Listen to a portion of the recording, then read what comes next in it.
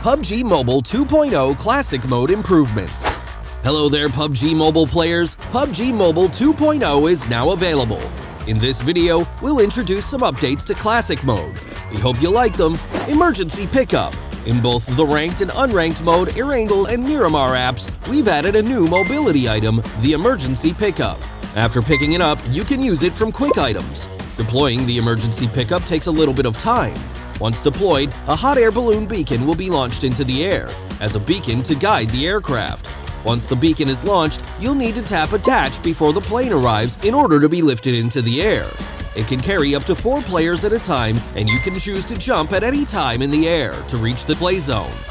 It's a new strategic mechanic that allows you to move around quickly with your teammates and also gather battlefield intel from high up in the sky. With the help of players' ingenuity, the emergency pickup can be used in actual combat to create more thrilling scenarios. It's also worth noting that as long as you're in the blue zone, even if you're up in the air, you'll continue to take damage, so think carefully before using the emergency pickup.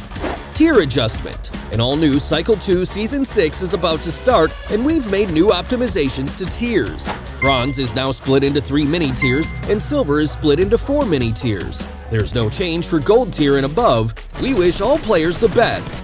Recall Optimization in this new version, we've optimized and improved the recall feature. We've made some adjustments to the recall mechanic. We've also added a quick chat message, I'll recall our teammates, and minimap death markers to facilitate communication between teammates. Recalled players will have a clearer view of the battleground from the plane. The thing you'll need to remember is, in the Erangel and Livik themed mode, as long as you have a recall remaining, you'll respawn automatically when you're defeated. Your teammates won't have to recall you from a recall tower. In the ranked version of the Livik map in Classic mode, the recall mechanic will be added as a limited time event feature. Haptic Feedback System in order to enhance players' immersion in the game, we've added an interactive haptic feedback system to the new version. The various actions of in-game players will be reflected through vibration and haptics, further enhancing the game's immersive experience. When players interact with weapons and vehicles, interactive feedback will be transmitted to players in real time in the form of device vibrations, allowing players to experience differences in different interactive environments. When a player enters different states such as running, jumping, and being attacked, the device's vibration allows them to better feel the difference in their own state. Even when the mini-map is marked with footsteps, vehicle sounds, and gunshots, the haptic feedback system will also react in real time. The haptic feedback system has two quality settings, high and low, and needs to be enabled in settings. At the same time, players can also set the vibration strength and customize the haptics under different combat scenarios. Do keep in mind that high quality requires a device with compatible hardware before it can be enabled. Firearm Optimization For firearms, we focused on adjusting the shotgun's attributes, increasing its hit damage ratio and range to damage, and slightly increasing the base damage of the sawed-off shotgun.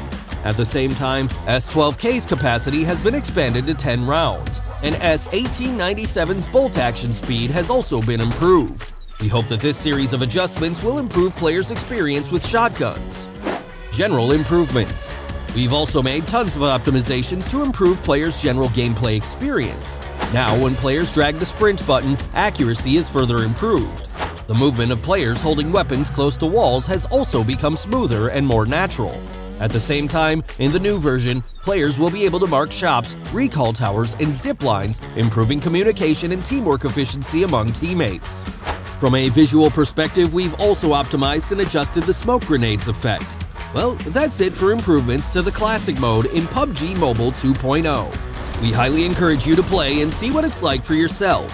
If you want to know more about PUBG Mobile, please follow our official community. See you next time!